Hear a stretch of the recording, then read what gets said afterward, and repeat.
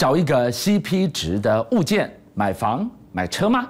我们来看到的是，在修旅车崛起的此刻呢，现在大家看重的是它的车头的设计，跟房车一样，但是一样拥有这个低底盘，一个载人载货这样的一个修旅的优势。就来看到现在年底剩下几个月的时间而已，包含了呃美系品牌到日系品牌，他们都纷纷推出了新款车来抢市。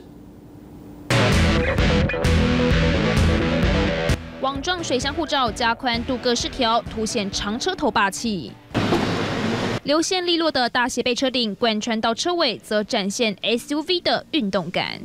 所谓的威根旅行车呢，就是有修旅车才有的大空间，但是同时又有房车低底盘的操控性能，两种不同的特色合在一起呢，看起来还真的是相当帅气。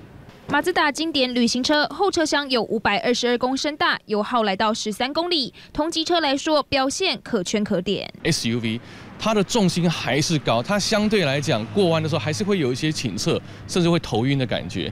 那所以这些买家有些可能就想说，那是不是旅行车是不错的选择？但如果要比性能，就要看宾士。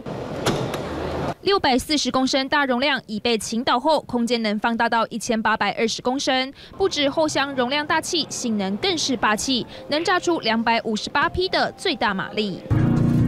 而要说 CP 值，福特这台极速飙到两百五十公里的狂放性能，堪比是豪华车等级。六百九十四公升大容积更是领先不少对手，曾创下两天七十辆的销售记录。这旅行车通常价格是比较贵的，本来第三箱呢是往下切下来。